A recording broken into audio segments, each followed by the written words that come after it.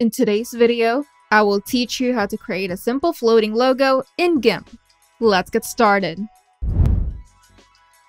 The first step is creating a new image.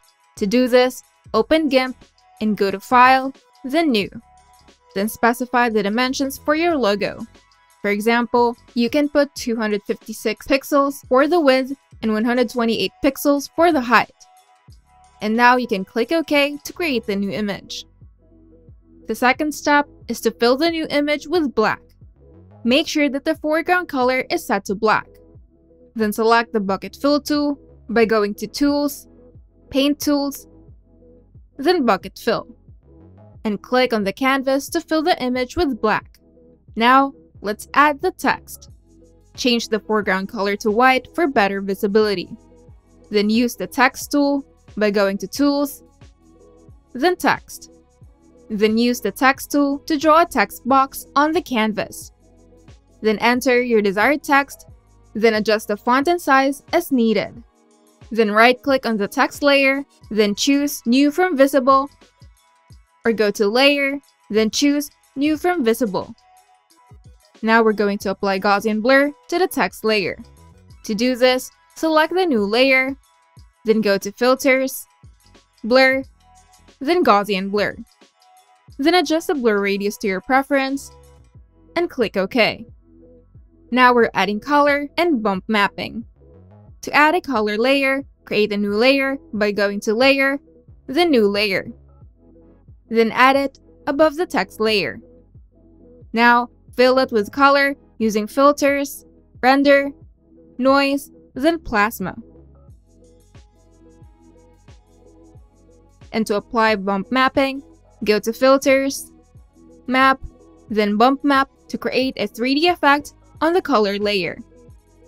Then choose the visible layer as the bump map source and adjust the settings as desired.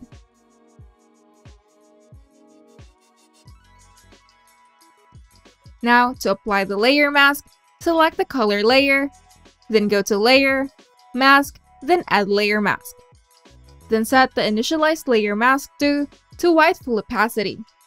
Then copy the visible layer, click on the mask, and paste it.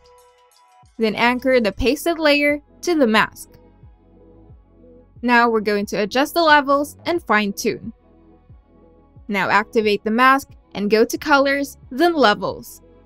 Then modify the gamma and white point sliders to sharpen the edges of the text. And for the drop shadow, duplicate the visible layer by going to Layer, then Duplicate Layer or simply use the shortcut key Shift Ctrl D. Then invert the colors by going to Colors, then Invert. And make the white areas transparent by going to Layers, Transparency, and Color to Alpha. Now, move the shadow layer beneath the plasma layer using the Move tool, then adjust the position using the Move tool to create a shadow effect. Optionally, you can apply a Gaussian blur by going to Filters, Blur, then Gaussian blur. Then adjust the opacity for a realistic shadow. And now you've successfully created a floating logo using GIMP.